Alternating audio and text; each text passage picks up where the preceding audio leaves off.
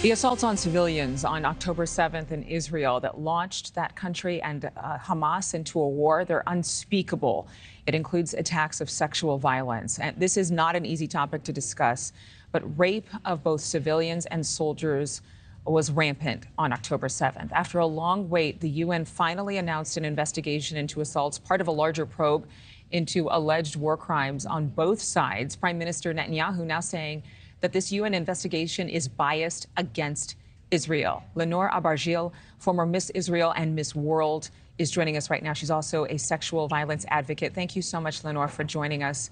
I, I know you've been Hi. speaking on behalf of all victims for decades, but what we're hearing come out of October 7th is, is so dark, it's horrible even to speak of it. Why do you think it took so long for the UN to say anything about these rapes?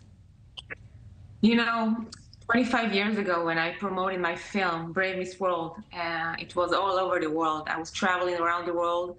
Uh, me Too uh, movement was with me. All the uh, women organizations, the UN supported me. They didn't ask to have a comprehensive uh, investigation. They, they believed me. They support me uh, like they had to. But now, and you know, when I did my film, I interviewed women from all over the world but I guess for UN, there is one um, one um, nationality that uh, you have to have a proof, a good proof that you were raped, and that's just my my mine to be Jewish, and it's just I believe it's just me too, unless you are a Jew, because how can you say you need to have more more more proof for what?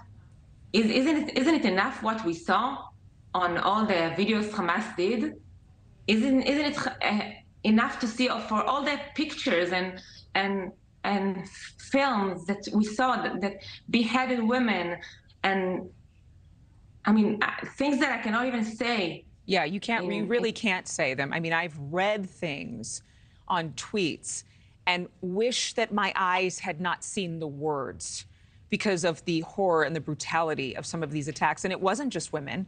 There are reports that, you know, the Israeli military actually warns their soldiers, both male and female, that if they are captured by Hamas, it is very likely they will be raped if they are taken hostage. So what? And they said that exactly. They Go said it on their videos that this is what they came to do. Yeah. I mean, what what women organization did, it's they took it to the political side. It's not about which side you are on the map. It's not about Free Palestine. To use rape as a weapon of war, it's something that we all have to shout out against. It's unacceptable. It should be plain. It should be plain that we all should agree that sexual violence is a war crime. But what, what should the UN, what should some of these other organizations, these global organizations, who have not spoken up as loudly as they did during the Me Too movement, say and do to support these victims and the victims' families? Nothing. Two months it took the, took the UN to condemn. Two months. And then in a weak condemnation, they said they are alarmed by the sexual assault of Hamas. Come on. Yeah. This is what you have to say after two months of silence? And women organization, I came to speak to them. I came to their office. They, they, didn't they not, not just they don't speak they ignore me at all. Like they say they don't have time to deal with it because of the war in gaza. Some of them didn't even answer the phone. I feel ashamed so ashamed to be a part of any woman organization now in the world. I feel ashamed for the un i think it's really i my heart breaks to see that this is what we have to deal with yeah. And it's nothing to do about, they don't care about women. Well, we should all care. Because they did.